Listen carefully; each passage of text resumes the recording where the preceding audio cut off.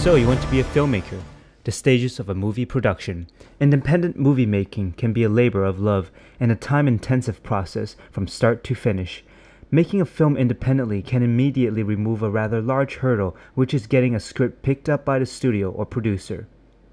The development of a film is arguably the longest stage in film production. Some people spend their whole lives developing film ideas and writing scripts upon which a film is built.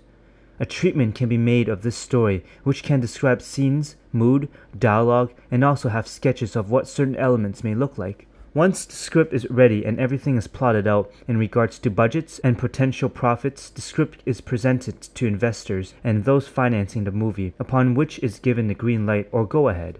In pre production, the script is mapped out with conceptual drawings known as storyboard.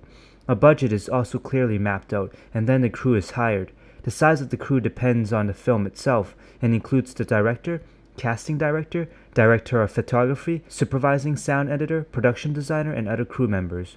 Casting decisions or actor auditions may also be held at this time, and how long it's going to take to get the film made, usually several months for larger pictures. Production stage is when the film is actually being made. This includes filming and recording sound with the actors as many times as it takes to get it done right and from different angles.